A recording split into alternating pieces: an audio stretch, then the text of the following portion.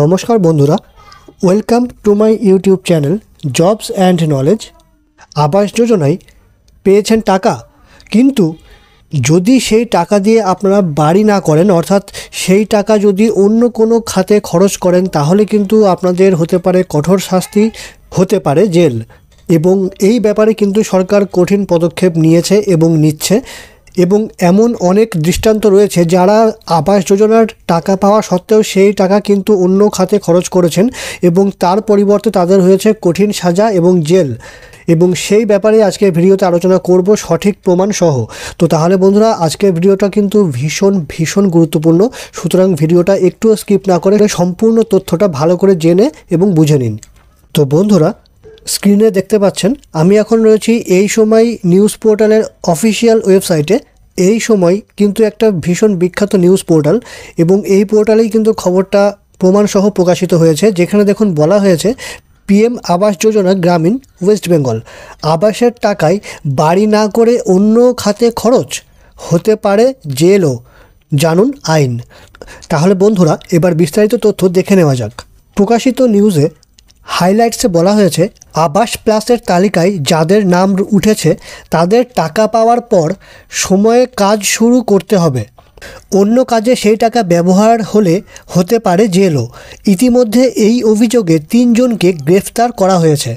এখানে ঘটনা এক বলে দেওয়া রয়েছে দু হাজার ষোলো সালে কেন্দ্রের আবাস যোজনায় ঘর তৈরির জন্য টাকা পেয়েছিলেন পশ্চিম মেদিনীপুর জেলার গড়বেতা এক ব্লকের এক বাসিন্দা।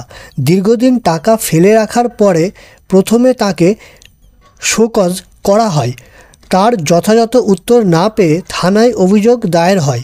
পরে বাধ্য হয়ে টাকা ফেরত দেন তিনি। ওই ব্লকে এমন অভিযোগের সংখ্যা কুড়ির বেশি। এবার দেখুন ঘটনা দুই।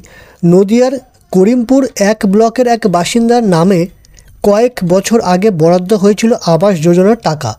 সেই সময় রাজ্যে এই প্রকল্প বাংলার আবাস যোজনা নামেই পরিচিত ছিল। পরে জানা যায়, সেই টাকা তিনি অন্য কাজে ব্যবহার করে ফেলেছেন। শোকজ এবং পরে ওই কাজের জন্য অভিযোগ দায়ের হয় তার নামে। ঘটনা তিন, পূর্ব মেদিনীপুরের নন্দকুমার ব্লক।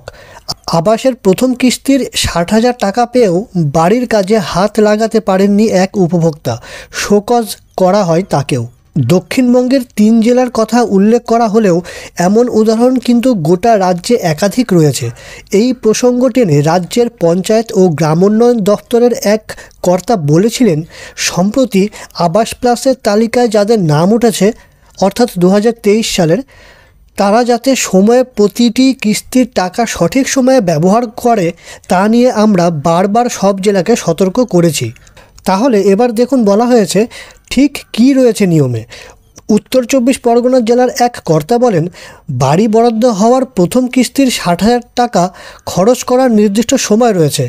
তা না হলে প্রথমে প্রশাসন, আরও সহজ বললে বিডিও অফিস থেকে শোকজ করা হয় ওই উপভোক্তাকে। অর্থাৎ কেন তিনি এমন করেছেন তার কারণ জানতে বলা হয়। সেই চিঠির উত্তরে প্রশাসন সন্তুষ্ট না হলে বা কেউ উত্তর না দিলে তার বিরুদ্ধে লোকাল থানায় অভিযোগ দায়েরও করা হয়। এক্ষেত্রে পুলিশ তাকে গ্রেফতার করতে পারে। অর্থাৎ বিষয়টা হলো এটাই, প্রথম কিস্তির টাকা পাওয়ার সাথে সাথে কিন্তু আপনাদের বাড়ি নির্মাণের কাজে হাত দিতে হবে এবং সেটার তথ্য বিডিও অফিসে জমা করতে হবে। সম্প্রতি নদিয়ার কৃষ্ণগঞ্জ ব্লকে এমন অভিযোগে তিনজনকে গ্রেফতার করা হয়েছে। কৃষ্ণগঞ্জের এক বাসিন্দা দু হাজার উনিশ কুড়ি অর্থবর্ষে আবাস যোজনার টাকা পেয়েছিলেন আর এক বাসিন্দা পেয়েছিলেন দু হাজার কুড়ি একুশ অর্থবর্ষের টাকা।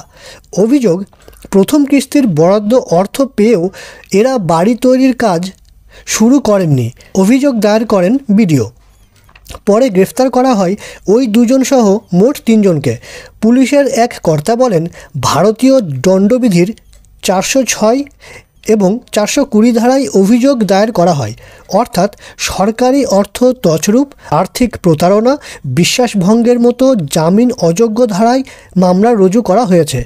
তবে অভিযোগ দায়েরের আগেই কেউ কেউ চাপে পড়ে টাকা ফেরত দিতে বাধ্য হন।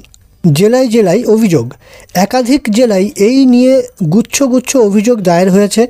শুধু নদিয়া জেলায় এরকম প্রায় তিনশোর বেশি অভিযোগ দায়ের হয়েছে।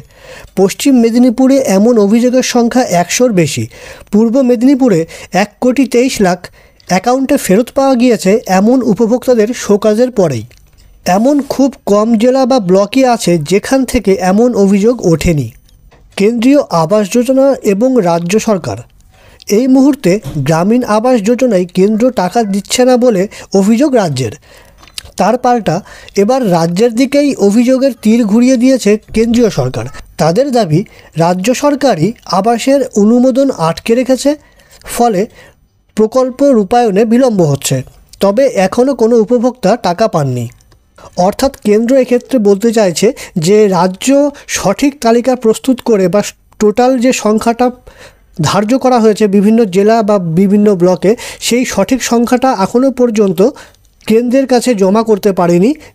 মোট কোটা যতগুলো আছে, ততগুলো কিন্তু লিস্ট তৈরি করে কেন্দ্রের কাছে পাঠাতে পারেনি রাজ্য। এবং তার পরিপ্রেক্ষিতেই কিন্তু কেন্দ্র রাজ্যকে টাকা দিতে পারছে না আবাসের জন্য। কেন্দ্রর পক্ষ থেকে এমনটাই দাবি করা হচ্ছে। এবং এর আগের ভিডিওতেও আমি আপনাদেরকে জানিয়েছিলাম যে বিভিন্ন এলাকায় কিন্তু কোটা এখনও সম্পূর্ণ হয়নি। বিভিন্ন জেলায় কিন্তু কোটা পূরণ হতে বাকি রয়েছে। সুতরাং ফাইনাল লিস্ট যতক্ষণ না কেন্দ্রের কাছে পাঠানো হচ্ছে, ততক্ষণ পর্যন্ত কেন্দ্র টাকা দিতে পারছে না। তো দেখা যাক বিষয়টা কবে সম্পূর্ণ হয় এবং বাকি পরবর্তী তথ্যগুলো আপনারা জবস অ্যান্ড নলেজ ইউটিউব চ্যানেলের মাধ্যমে পেতে থাকবেন। সুতরাং চ্যানেলটিকে অবশ্যই সাবস্ক্রাইব করে রাখুন এবং আজকের তথ্যটা আপনাদের উপকারে লাগলে ভিডিওতে লাইক করতে ভুলবেন না। তো তাহলে বন্ধুরা, আজকের ভিডিওতে এই পর্যন্তই। ভিডিওতে এতক্ষণ সঙ্গে থাকার জন্য অনেক অনেক ধন্যবাদ। ভালো থাকুন সুস্থ থাকুন জবস অ্যান্ড নলেজ ইউটিউব চ্যানেলের সঙ্গে থাকুন।